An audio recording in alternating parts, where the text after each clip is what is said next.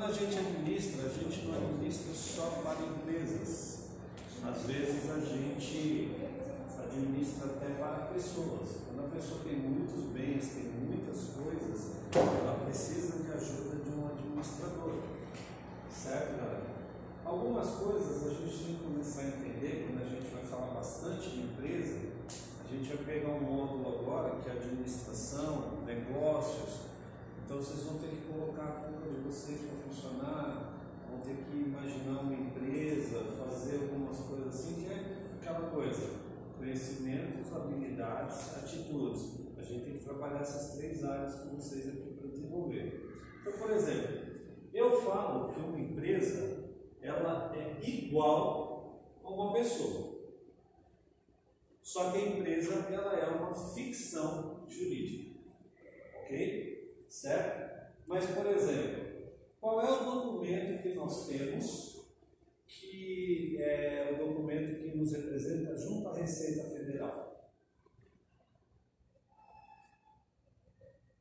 Começa com C e termina com F.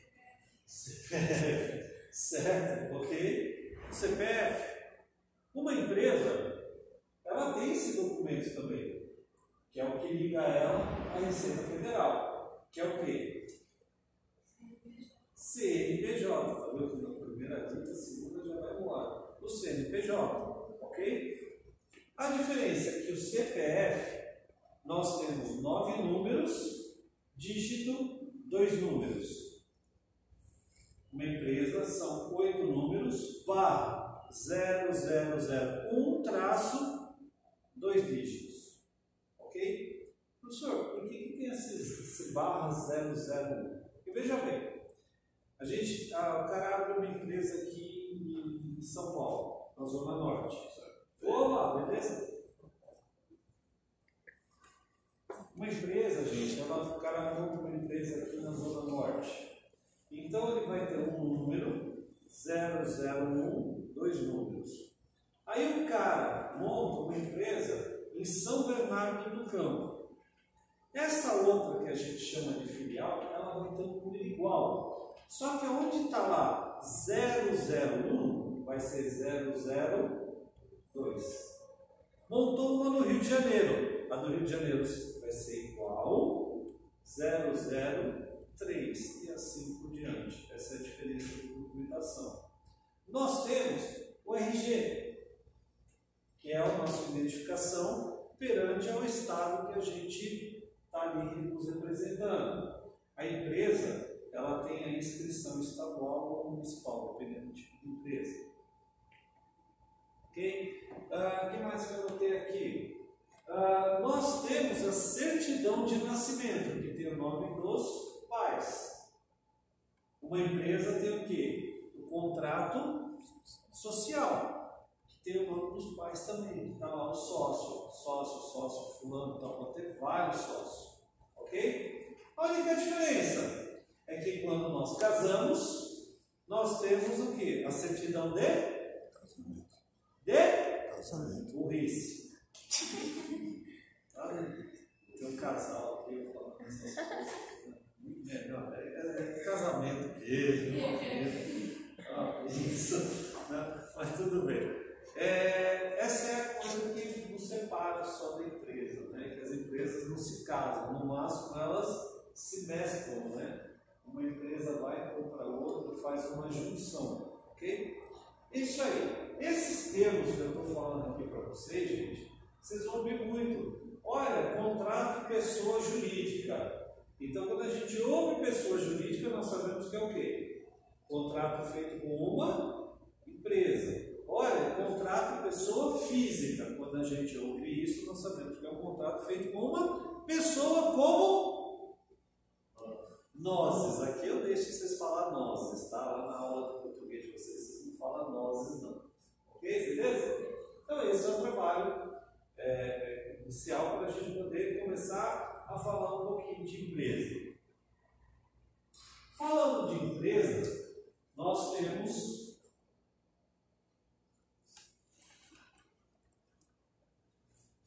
saber o que é uma empresa.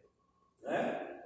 Empresa ela é uma organização econômica que ela está destinada a produzir produtos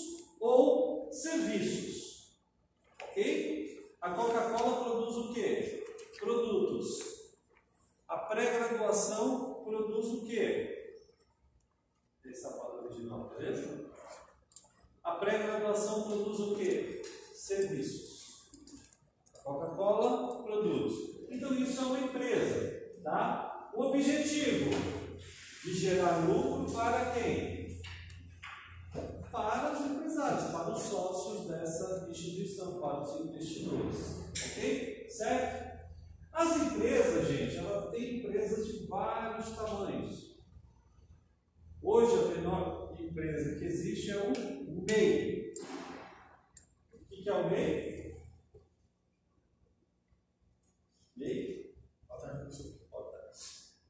MEI é o quê? micro, empreendedor, individual. Sabe aquele tiozinho que vendia pipoca na, na porta da escola? Hoje ele é uma empresa. Hoje ele é uma empresa, porque ele abre uma empresa, ele vai lá na internet, pá, pá, pá, pá, pá, pá pronto, já sai o CNPJ na hora. Ah, mas por que, que ele vai ter essa de cabeça? Porque com esse CNPJ, ele pode pedir financiamento. Olha, eu quero trocar o meu carrinho de pipoca, ele pode financiar.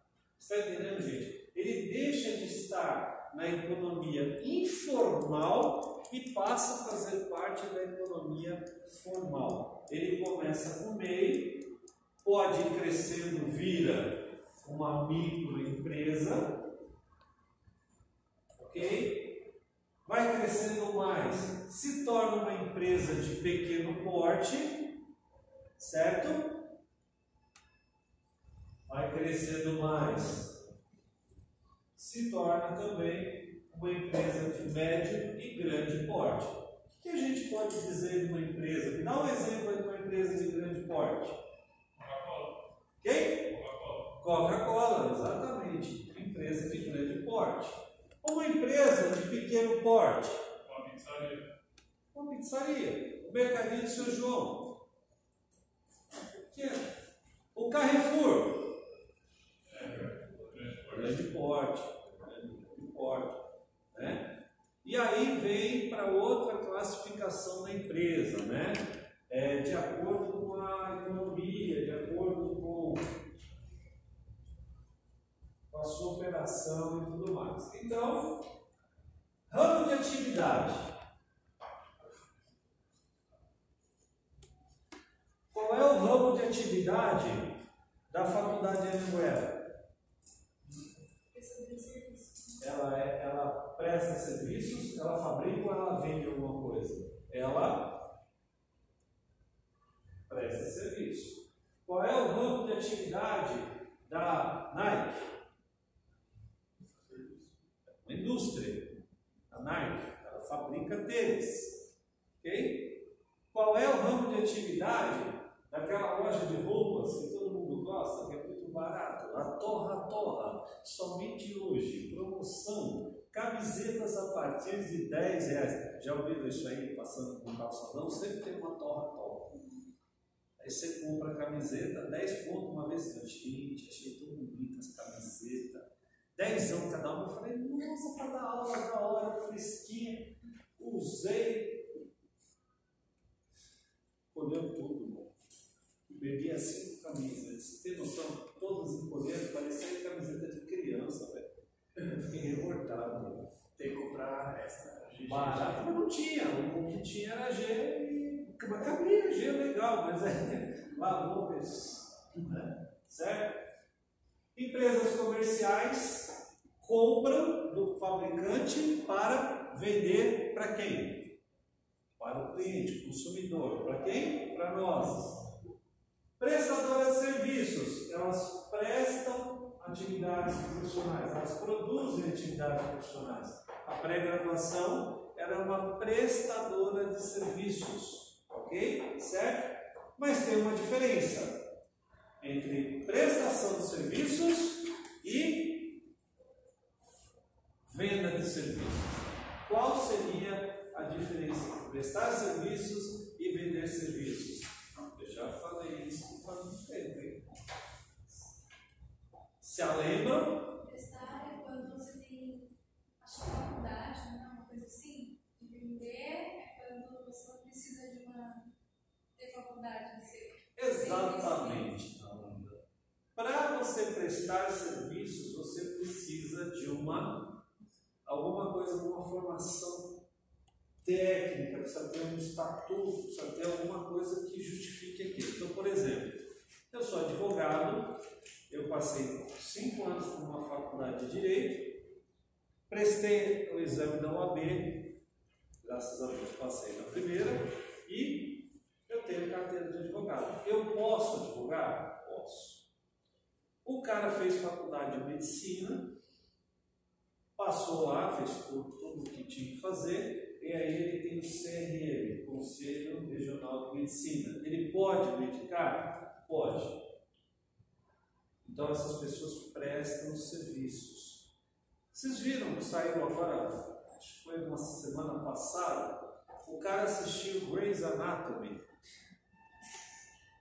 Está na, vai, tá na 16 temporada. Vocês viram isso aí que aconteceu? O cara assistiu a série, vestiu o jaleco e falou: Agora eu sou médico. E foi para o hospital. E começou a medicar lá, a, medicar, atender as pessoas. Isso aconteceu semana passada, saiu no, no, no jornal aí. Aí o que aconteceu? Todo mundo elogiando o novo médico. Nossa, mas que médico fantástico é esse? Nossa, que, que médico fantástico. É o doutor fulano. Fulano. O cara não era médico. Porcaria nenhuma. Você acredita nisso? Doideira, cara. O cara foi lá, assistiu Grey's Anatomy e falou, eu sou médico, deixa comigo. Epinefrina, aplica 10 cc naquele cara. Mano, é só gente louca nesse cirurgião, cara. Agora, lá perto lá da casa do Edilson, tem o índio. Vocês conhecem o mecânico índio lá? Vocês estão lá na área lá, o índio é um mecânico. Ele presta serviços ou ele vende serviços? Ele vende. Por quê? Tem faculdade de mecânicas de automóvel. Você está entendendo, gente? Existem algumas especialidades que você faz, né, para melhorar, mas você aprende assim o ofício, ok? Então, é, essa é a diferença prestar serviços e vender serviço. Dúvidas? Se eu perguntar mês que vem, vocês vão lembrar. Precisa, né? Era. O que é uma empresa mista? Meia mussarela, meia calabresa. Já estou com vontade de comer pizza logo na sexta. Gente, vocês precisam comprar pizza na sexta-feira. Lógico, põe ela na. Deixa dois pedaços para mim guardar, põe no tapoé, geladeira e traz para mim no sábado. Eu estou até agora sem almoçar. Vocês não tem dó de mim, não? Vai comprar pizza de sábado, que coisa mais careta, mano. Pô, brincadeira. Você compra um dia da semana? Hã? Você compra um dia da Eu compro de sábado, mas eu quero comer sábado na hora do almoço, então você tem que comprar pizza na sexta-feira, mim. semana? Professor, e falar É. Professor, se eu falar que? Mas acabou, meu irmão, é? Seu irmão é daqueles. É, É, três, nove, ele tem uma sucuri no estômago, né? Uma sucuri fica ele com alimenta mais alguém. né? O que é uma empresa mista? Uma empresa que, por exemplo, se a gente olhar aqui esse ar-condicionado, a empresa ela vendeu para a Embraer esse ar-condicionado. Então é uma empresa comercial. Só que ao mesmo tempo ela fez um outro contrato para fazer a manutenção desses aparelhos. Aí ela está fazendo o quê? Ela está prestando um serviço. Capisco? Então ela é uma empresa de economia mista. Entenderam? Tem empresas que fabricam e ela mesma vende os seus produtos. Ela tem uma loja fixa e tudo mais. Entenderam essa parte aqui? Nós estamos falando do ramo de atividade.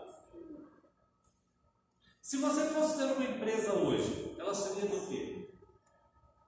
Me fala aí na lata. Qual seria o seu desejo de ter uma empresa? Qual seria? Vai, Fran. É uma construtora. Uma Construtora. construtora. Qual seria a área? Uma construtora. Comercial. diferente se ela só construir industrial. Por isso que tem algumas empresas que é indústria e comércio. É a nomina- denominação dela. Certo? Ah, eu quero comprar uma loja de roupa. Então, essa é empresa comercial. Ah, eu quero ser, é, ter um escritório de advocacia. Certo? Ok? Beleza? Então, você tem que estar bem, bem guardado essas coisas aí, gente, porque senão vocês vão passar vergonha dentro das empresas. Professor, o que, que significa em algumas que tem limitado? Hã? Limitada. limitada é o seguinte: ah, existe o capital social que os sócios investem. Então a responsabilidade de cada um está limitada ao capital que investe. Então, por exemplo, eu entro numa empresa, a gente vai aplicar 10 mil na empresa. Se você, se você entra com 7 mil e eu entro com 3. Se a empresa for bem, os lucros são repartidos 70% para você e 30% para mim. Se a empresa vai mal e vai à falência, então eles vão atrás do quê? Você é responsável pela sua parte. Ah, então ele falou que você é, ações. Ações é diferente. Ação, se a empresa fechar, ninguém vai atrás de você, porque ação significa. é, é, nós temos a limitada e a SA. SA é Sociedade Anônima. Tá? Então, por exemplo, eu quero ser dono da Petrobras. Quero ser dono da Petrobras. Eu vou na Bolsa de Valores lá, vou pegar uma agência e vou comprar é, ações da, da Petrobras. Então eu sou dono de uma parte da Petrobras. Eu vou lá e compro lá 100 mil reais de ações. Mas eu não posso chegar na Petrobras lá, vou entrar lá e falar, sou dono dessa merda e abre o portão. Eu vou levar esse carro aqui. Você não pode fazer isso. Porque o nome é Sociedade Anônima, ninguém sabe quem são os donos. Quem tem mais ações, manda mais, tem um controle acionário. Como a Petrobras ela é, uma, ela é do governo e tem ações para é, particulares, então o governo sempre tem 51%. Que é o governo que fala quem vai ser o diretor. Se é uma sociedade anônima sem ter a participação do governo, quem tem mais ações tem um poder de, de, de voto maior. Então, se eu tenho 51% de ações e tem mais 10 que juntando dá 49%, fala, ah, vai ser esse o diretor. Eu falo, não vai não. Que os meus 51% eu quero em fulano. E se a empresa falir, cada um que colocou o dinheiro lá perde. Mas ninguém vai atrás dos bens que estão na sua casa. Se você tem uma empresa, a empresa vai à falência, está devendo para Deus o mundo, os caras vão atrás da sua TV, vai atrás do seu computador, do seu carro. Então essa é a diferença. Tá? A sociedade anônima, ninguém sabe quem é o sócio. Quem tem mais ações é o que mais ganha lucro da empresa, é o que tem maior poder de, de decidir as coisas que vai acontecer. Capisco? E aí, galera, a gente tem em relação à economia que opera que são as empresas nacionais, multinacionais e as empresas transnacionais. Aqui, essas duas aqui se misturam um pouco, mas dá para entender. O que é uma empresa nacional? Uma empresa que foi fundada no, no único país, ela só tem no país dela. Tá? Ok? Já uma empresa multinacional, ela tem a matriz em um lugar e a filial em outros locais. Então, por exemplo, se você pegar a GM, a matriz é nos Estados Unidos, mas tem uma GM aqui, General Motors, no Brasil. A Fiat é Itália, mas tem aqui no Brasil. Então, tem em vários, vários países. Tá? Então, nós chamamos de multinacional. A transnacional não, não tem muita diferença. Mas ela, tipo assim, eu tenho uma indústria aqui no Brasil e vários escritórios, várias empresas em outros países. que fazem a venda dos produtos lá. Eu não tenho tipo uma outra fábrica lá, eu tenho uma que a gente chama de sucursais, né? Ok? Por exemplo, a Rede Globo. Vira e mexe, a gente não aparece um repórter lá nos Estados Unidos, ele está numa, numa sucursal de Nova York. Então o cara ele tem uma sucursal, não é uma, uma outra Rede Globo que transmite de lá outro programa. Não, não é. A Globo é aqui mesmo. Certo? Ok? Fechou? Vamos agora então para os conceitos sobre a administração. Se eu perguntar para você o que é administração com a sua palavra, o que vocês falaram mesmo? Controle. O que mais vocês falaram? Liderança. O que que a gente ouviu mais? Dinheiro. Organização. Tá, né? Aí assim, aí a gente encontra os, os caras que escrevem os livros, né? Aí a gente tem esse cara aqui que eu gostei muito dessa, dessa explicação dele, né? Que é o Maximiliano. Ele fala que a administração é o esforço sinérgico, olha as ideias dos caras, com alto grau de racionalidade para a conquista de um resultado que não estaria presente de forma autônoma ou autossuficiente. Aí você fica pensando, mano, o que, esse cara falou? Certo? Que caramba que um cara desse fala. Aí você começa a separar por palavras. Então, administrar é você ter um esforço sinérgico. O que seria sinergia?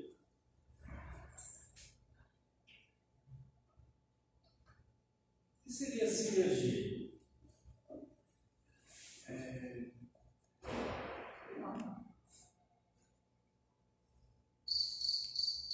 Um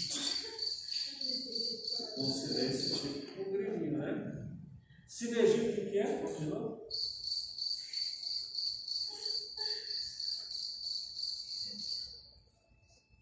O que é sinergia, galera? Eu já falei isso para vocês aí nas, nas outras Alemanhas aí. Sinergia é você fazer com que as pessoas trabalhem com o espírito de equipe.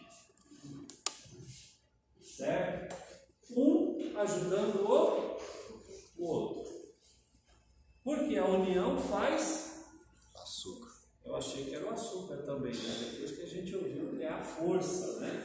Ok? A união faz a força, né? A gente faz essas. Vocês deram risada, ela está rindo até agora. Foi boa piada. Né? Você gostou, você não ouviu essa aí. Então, olha só. A sinergia, ela causa o quê? Ela causa a união das pessoas em torno de um trabalho. Ok? Só, por que, que ele fala que é esforço sinérgico? fazer as pessoas trabalharem em equipe não é fácil, não, gente. eu mostro não tem noção, é cada um por si, Deus para todos. Eu vou fazer o meu aqui e o resto que se exploda. Tudo bem?